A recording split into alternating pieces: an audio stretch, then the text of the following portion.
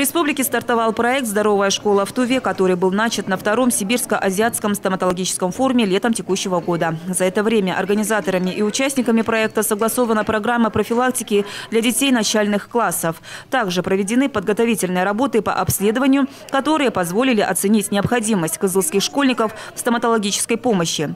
Так, в рамках проекта стоматологи посетили 15-й лицей Кызыла. Врачи показали детям, как правильно чистить зубы и последствия несоблюдения гигиены полости рта. Так, по итогам проекта будет проведено эпидемиологическое исследование, после которой будут известны влияние проекта на здоровье детей. Сформировать у детей правильные привычки в отношении здоровья полости рта, сохранения здоровья полости рта, э, выбирать правильные продукты, максимально избегать продуктов, которые вредят здоровью. Э, не только полости рта, но и в целом организма.